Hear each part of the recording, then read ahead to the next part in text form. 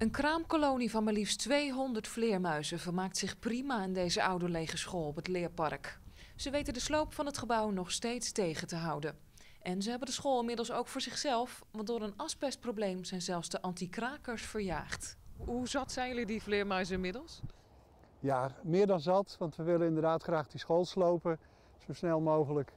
Er zit ook asbest in de school, dus hoe eerder plat, hoe beter. En, uh, maar ja, we hebben nog steeds geen toestemming uh, vanwege de flora- en faunawet. Het Natuurwetenschappelijk Centrum dacht een list te hebben. Het bouwen van een vleermuizentoren kostte 22.000 euro. Op andere plekken in Nederland wordt door het bieden van dit alternatief aan de beestjes wel een sloopvergunning verkregen.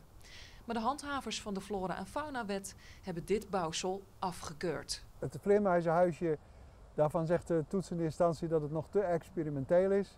En eh, eigenlijk ook te klein voor de grote kolonie vleermuizen die hier uh, zit. Maar wisten jullie dat vooraf niet? Nou, de, de adviseurs hadden ingeschat dat het, uh, dat het wel voldoende zou zijn. En dat blijkt dus, ja, daarom wordt getoetst. Dus achteraf niet, uh, niet voldoende gevonden te worden door de toetsende instantie. De gemeente Dordrecht zit inmiddels midden in een juridisch getouwtrek. Er is een nieuwe vleermuizenexpert ingeschakeld om tot een oplossing te komen. Nou, we denken ook aan, uh, aan maatregelen aan bestaande gebouwen.